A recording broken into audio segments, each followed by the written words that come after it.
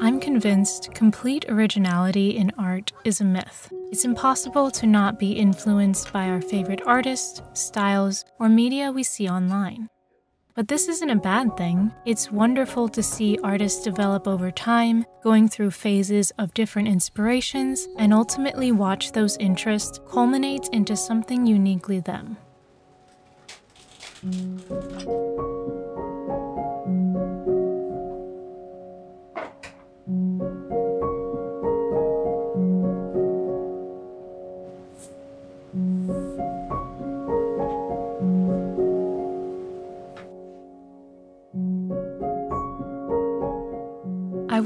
Worry too much about being influenced by other artists you admire. As long as you acknowledge it, it's a great way to improve your skills and spark creativity. As you'll see later on, I do this often by creating master copies to take some pressure off of myself when I still want to practice art.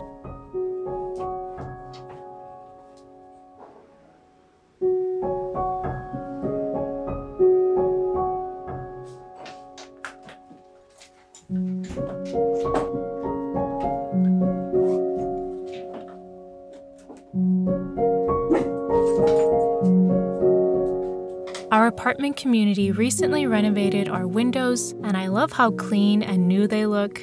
However, I had to move a lot of things around in the studio to clear up some space for them. As I was cleaning up, I decided it was time to update the art hanging on my wall. I've made some new pieces, and it gives me an excuse to do one of my favorite things, which is to go to the thrift store and pick out interesting looking frames.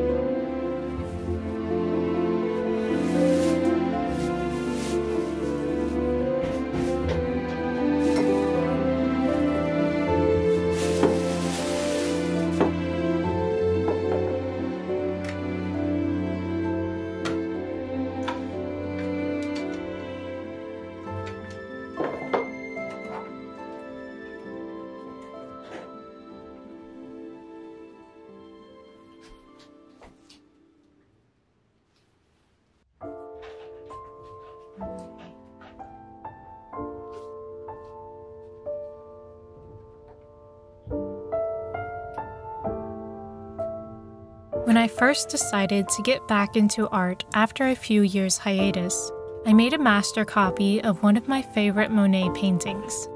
I don't think it's too silly to say that that study changed my life. It allowed me to jump back into painting without worrying about creating something new right away. It also helped me share my journey with so many of you who encouraged me and said you related to my experiences. I'll always believe master studies are important for artists in many different ways. They can allow you to focus on practicing color mixing and replication without needing to solve other issues like the color palette, composition, and subject matter. When you're tired from a long day or week, those added problems can cause us not to have enough mental energy to make something we're proud of, which can lead to giving up after just a few tries.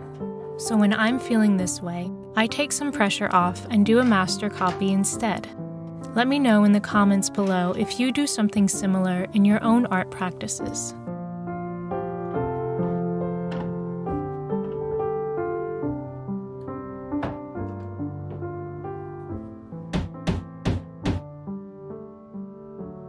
Before I start painting, I want to thank Casetify for sponsoring this video. I love that their phone cases are not only protective, but also feature beautiful designs. Their latest protection technology, EcoShock, is embedded in their iPhone 14 impact cases and can withstand drops up to 8.2 feet, and their bounce cases can protect up to 21 feet. I'm a very clumsy person, but luckily Casetify's impact cases are drop tested four times the military standard to ensure EcoShock doesn't wear off. Plus, you don't have to compromise on sleekness or design to get this kind of protection. With over 2,000 designs made with artists from around the world, you're sure to find or customize one that matches your style. Their iPhone 14 cases are made from 65% recycled phone cases, and their phone straps and bead charms help you carry your phone with you anywhere hands free. Whether you're upgrading your iPhone or not, head to Casetify.com for their latest iPhone 14 Impact Case series, as well as their cases for iPhone 13 or earlier devices. Go to Casetify.com forward slash Ashleigh King today to get 15% off your order.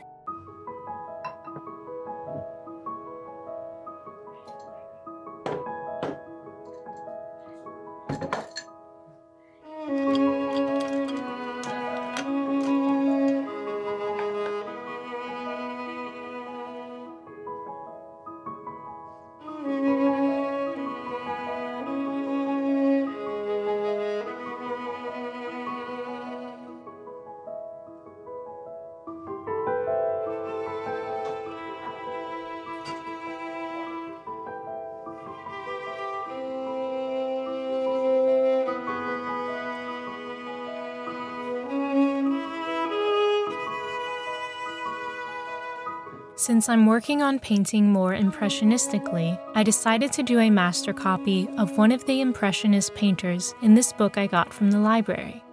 Degas' The Absinthe Drinker stood out to me right away.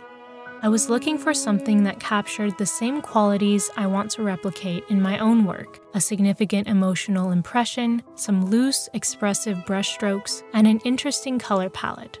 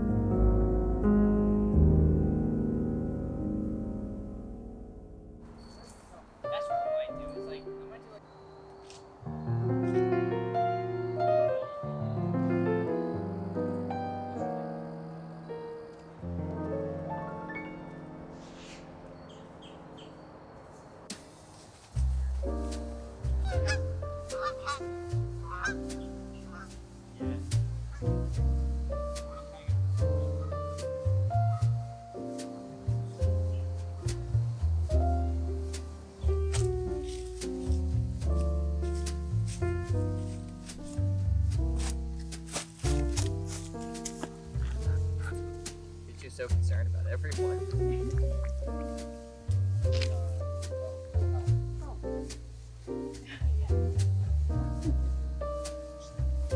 yeah, I, uh...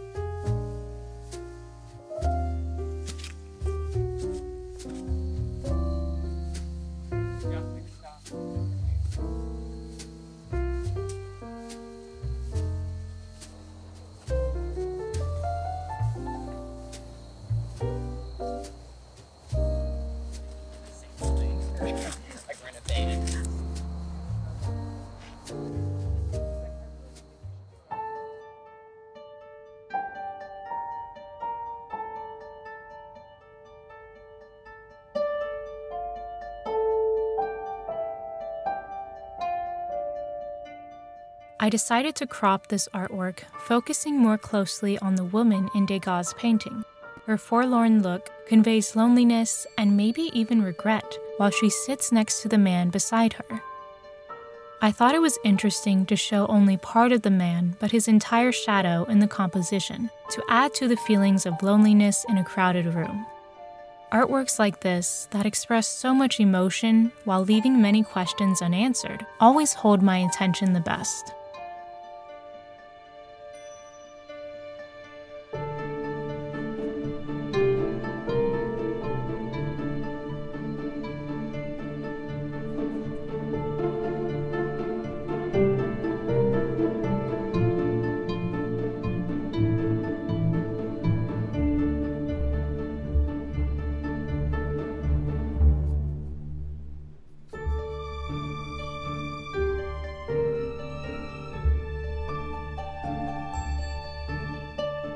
Want to begin to create more complex compositions like this one, involving background elements, additional figures, and still life objects. I've not gathered enough courage to tackle this kind of painting on my own yet, but doing this master study has helped me to get an idea of how these elements can work together in a future painting of mine someday.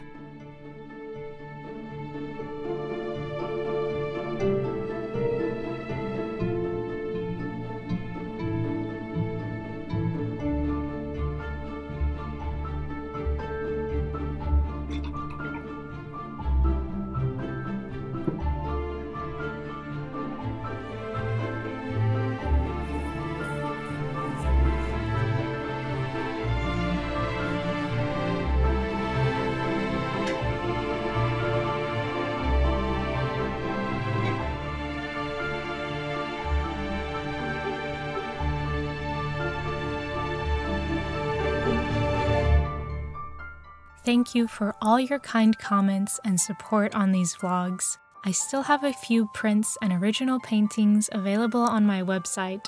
Wishing you the best. I'll see you next time.